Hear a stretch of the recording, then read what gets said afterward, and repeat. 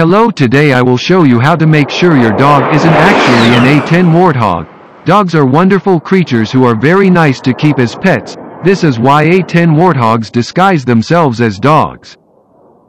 In this video, I will be showing you the symptoms that your dog is actually an A10 warthog, and what you can do to change it. It is recommended that if you think your dog is actually an A10 warthog please call the police immediacy. This is a dog, an adorable creature, but beware it could be an A10 warthog. Keep your distance until you can confirm it's a dog. This is an A10 warthog, a support plane with deadly weapons. It is used by the US military. It is great for taking out infantry and armor. It is one of the most feared planes in the whole world. The first thing we are going to learn is weapons the A10 Warthog has.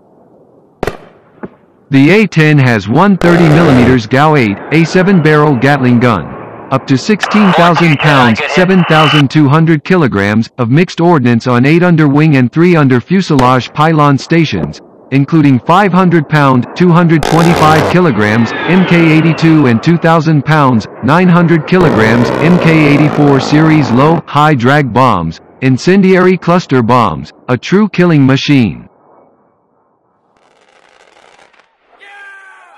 Here are the symptoms that your dog is an A10 warthog. If your dog has a GAU-8, a 30mm Gatling gun, on its body, there is a high chance it is an A10 warthog. Be careful since the GAU-8A can shot 3,900 rounds per minute and it has an 1174 round magazine. Take cover and stay away from the warthog, one bullet will be able to penetrate your pathetic body and kill you instantly. If your dog prefers to eat 30mm cannon rounds over dog food that is also a big sign that your dog is an A10. If you see your dog eating 30mm rounds, be careful it may be ready to start shooting. It may also launch missiles or bombs, it's best to evacuate your area in the situation.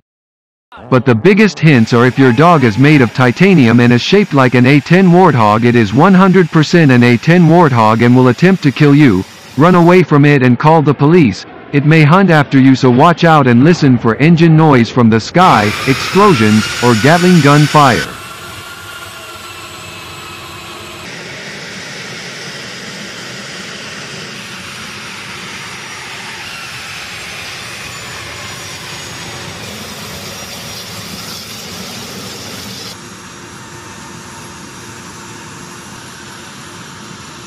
Thank you for listening to this video and I hope this has informed you and kept you safe.